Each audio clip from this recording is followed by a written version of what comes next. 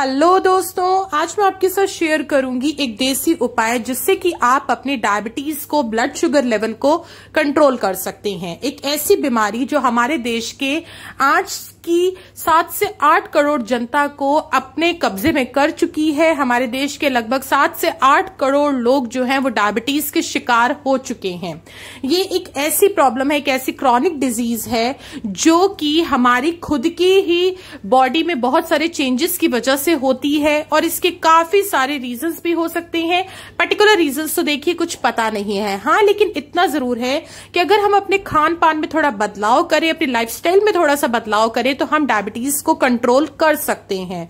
मैं ये नहीं कह रही हूँ कि आप पूरी तरह से डायबिटीज़ से छुटकारा पा सकते हैं। हाँ इतना ज़रूर है कि डायबिटीज़ की वजह से आपकी जो लाइफस्टाइल आपका जो स्वाद बेस्वाद हो चुका है, आपको लगातार इंसुलिन लेना पड़ता है, उससे आपको आज़ादी मिल सकती है। आपकी डायबिटीज़ बहुत हद तक कंट्रोल हो सकती है। आज मैं जो आपके साथ एक देसी नुस्खा शेयर करूँगी। तो चलिए देखते हैं कि डायबिटीज़ एग्जैक्टली है क्या। डायबिटीज़ तो हमें तब हो जाता है जब हमारी बॉडी में ब्लड शुगर लेवल बहुत ज़्यादा बढ़ जाता है। रीजन बहुत से हैं। जब हम अपने खान पान पे ध्यान नहीं देते, बहुत ज़्यादा मीठा या जंक फ़ूड अपने डाइट में इंक्लूड करते हैं हेल्दी खाना नहीं खाते हैं अनहेल्दी डाइट लेते हैं, या फिर हम मोटापे के शिकार हैं। बहुत कम पानी पीने की वजह से एक्सरसाइज ना करने की वजह से, और हमेशा आल आलस की तरह मतलब रहने की वजह से भी हमें डायबिटीज़ हो सकती है। तो सबसे पहली चीज़ है, हमें अपना रूटीन बदलना चाहिए, अपना खान पान बदलना चाहिए, अपना लाइफस्टाइल चेंज करना चाहिए डायबिटीज़ को कंट्रोल करने के लिए।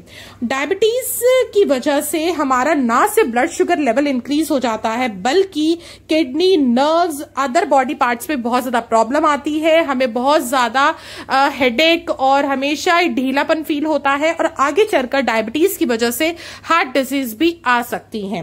तो ये एक ऐसी चीज़ है जिसको आपको कंट्रोल करना चाहिए ही चाहिए, जिस वजह से आप अपने आप को हेल्दी रख सकें, स्वस्थ रख सकें, लंबे टाइम तक एक अच्छा हेल्दी जीवन जी सकें।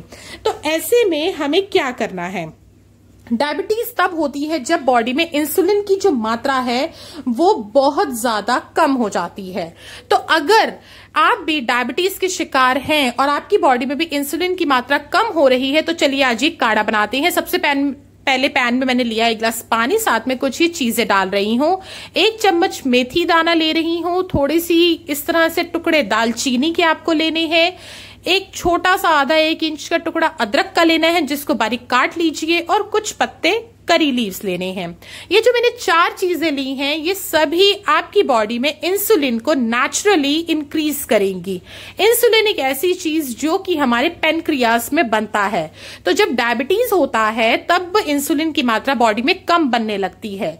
तो अगर हम डेली इस तरह से ये जो मैं आज आपके साथ काढ़ा शेयर कर रही हूँ, जिनमें सारी चीज़ों में इंसुलिन बॉडी में बढ़ाने का काम करती हैं, आपके ब्लड शुगर को कंट्रोल करती हैं, अगर आप इसको डेली सुबह खाली पेट लेना शुरू करते हैं तो आपकी डायबिटीज़ बहुत हद तक कंट्रोल हो सकती है। आसान सी चीज़ें हैं, हमारे घर में हमेशा अवेलेबल है और हमेशा मिल जाएँगी। लेकिन इस तरह से जब ये आपका काढ़ा उबल जाए और थोड़ा रूम टेम्परेचर पे आ जाए तो आप इसको छान लीजिए और आपका इस तरह से काढ़ा रेडी हो जाएगा।